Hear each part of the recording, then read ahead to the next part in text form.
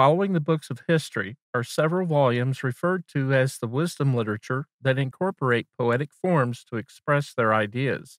Hebrew poetry differs significantly from what we're used to today, but they still convey a timeless message that covers multiple topics.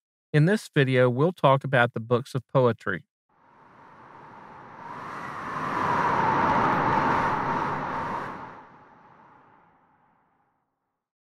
There are five books in this group known as the books of poetry or wisdom literature. Some writers reserve the term wisdom literature specifically for the writings of Solomon.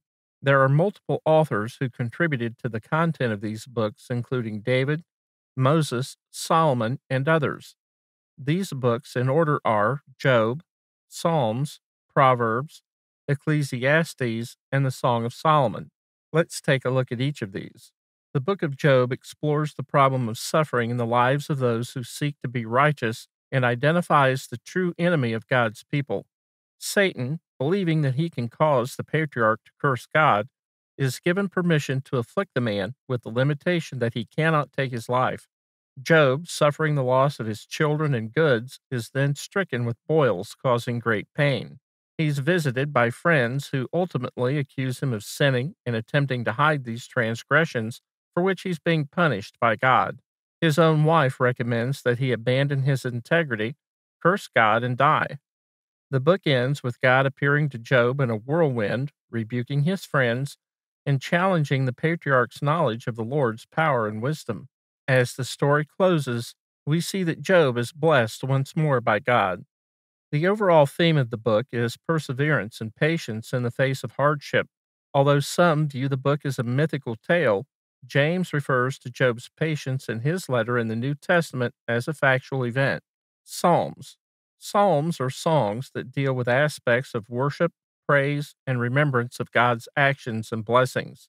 These can be classified as liturgical psalms, songs of praise, didactic psalms, teaching songs that speak of God's actions, judgment, power, and other subjects. Historical psalms render accounts of a number of events, prophetic psalms, many of which are messianic in nature or deal with future judgments against those who sin. Proverbs is a volume in which Solomon collected and recorded various truisms and anecdotal statements reflecting spiritual truths. These are intended to assist the people of God in their daily lives, emphasizing wisdom and faithfulness.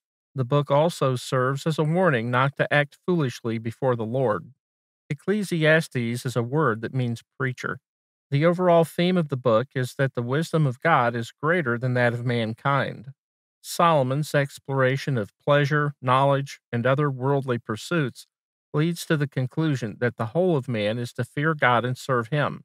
The book concludes that the only profitable activity in life is to serve God, as only this has lasting benefit. The Song of Solomon is a love story that depicts the impact of attraction, the power of infatuation, and the beauty of physical intimacy in a loving relationship. Chastity, marriage, and avoidance of sexual immorality are underlying themes of the book.